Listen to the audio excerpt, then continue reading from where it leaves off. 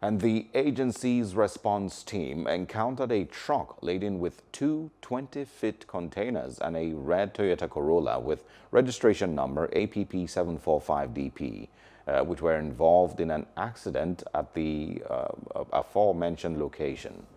Further investigation revealed the cause of the accident to be mechanical fault from the truck, which lost control while moving at high speed.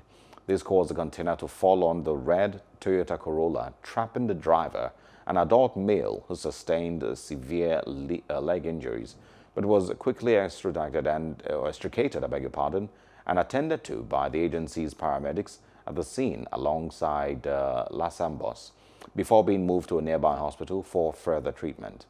The agency is working to recover the containers and the truck with the aid of the agency's heavy-duty equipment alongside LASTMA and the Nigerian police.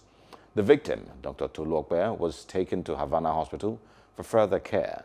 However, the truck and the car had been recovered off the road with uh, the aid of the agency's heavy-duty equipment for free vehicle activities and handed over to the Nigerian police at Area C operation, and uh, of course, uh, which concluded the agency's uh, uh, the uh, investigation and heading back to base.